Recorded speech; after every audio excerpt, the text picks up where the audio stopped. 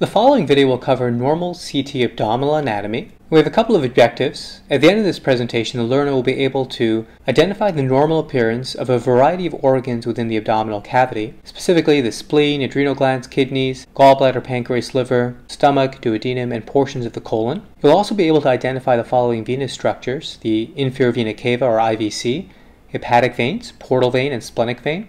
And finally, you'll be able to identify the following arteries the aorta, the celiac artery, common hepatic artery, splenic artery, left gastric artery, the superior mesenteric artery, the renal artery, and last but not least, the inferior mesenteric artery. Firstly, I'd like to orient everybody to how the patient is positioned. This semilunar shape at the bottom air is the CT gantry, and it's what the patient is lying down as they enter the CT scanner. So this area over here is going to be posterior to the patient. Opposite area here is obviously going to be anterior. Over here by convention will be the right side of the patient, and here will be the left side of the patient. There are two additional things I'd like to point out before we go through the organs. Firstly, most abdominal CT scans, including the one shown here, are performed at about 70 seconds after giving intravenous contrast. But it's important to appreciate that sometimes we image earlier if we're interested in the arteries, and sometimes a little bit later if we're interested in certain specific pathology. Secondly, whereas this is a CT scan of the abdomen, it's important to realize that we also include a portion of the lung bases and with it the heart, because in doing so, we make sure that we image the entire superiormost aspect of the abdominal organs. As we scroll through these images, we're going to be scrolling caudally, that is, towards the feet of the patient. As we do this, the first organ I'd like to showcase to you is the spleen. We can see the spleen over here in the left upper quadrant, on this image, we can also see a portion of the left adrenal gland, the aorta, the inferior vena cava, as well as portion of the liver. Over here is the stomach. So I'll continue to scroll downwards to get you a full extent of what the spleen looks like. And now I'm going to scroll upwards again. The next organ I'd like to showcase to you is the left adrenal gland. We can see it nicely over here.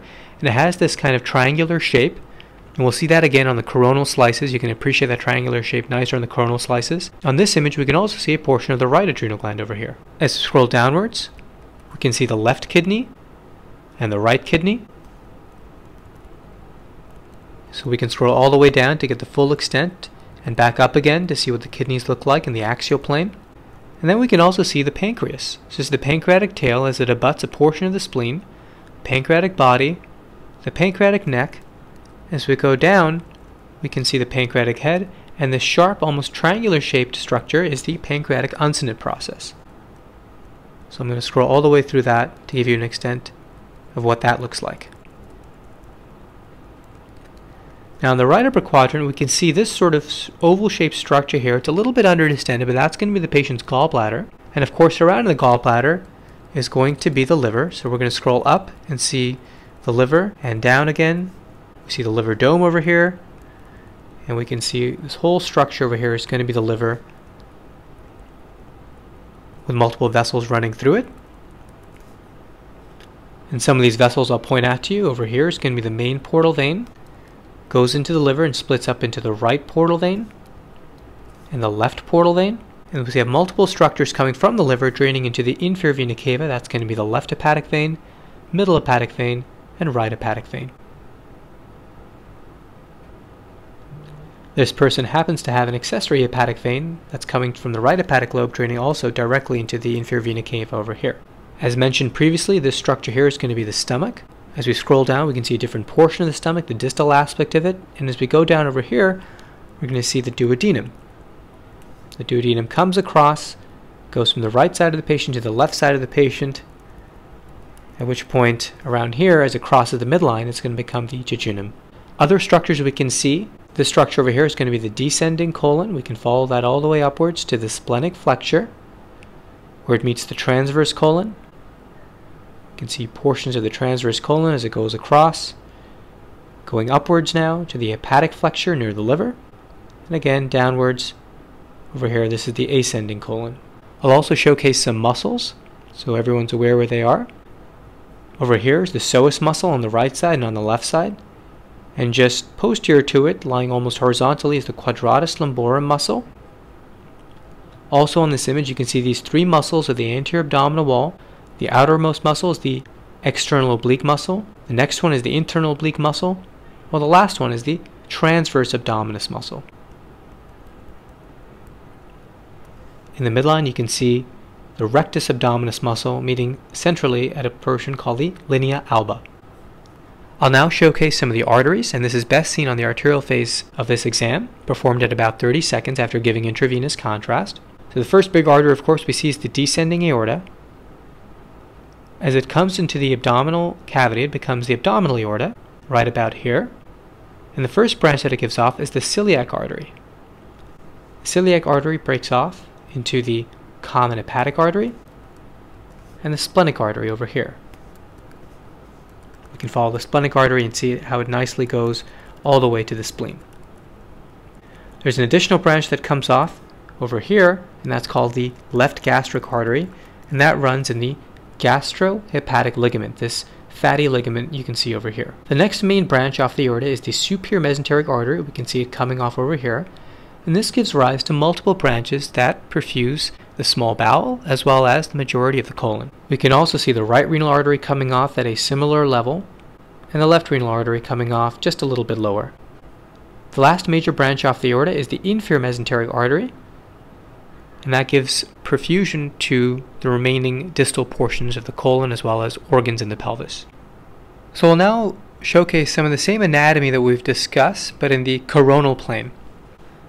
And so just to orient everybody before we go through the images, in the coronal plane, up here is the head of the patient, down here is towards the feet of the patient, and this side is the right side, this side is the left side.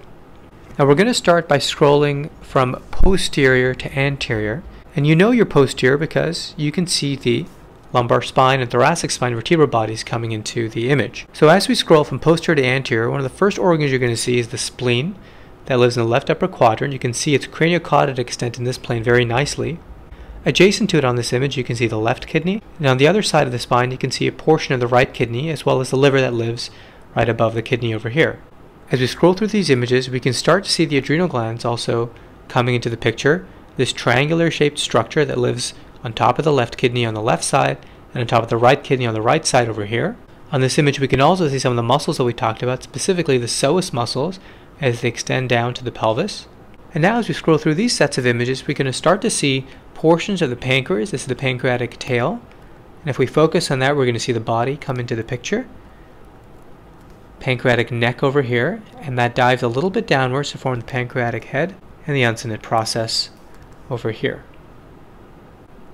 The gallbladder in this patient is relatively decompressed, and we can see a little bit over here adjacent to the liver.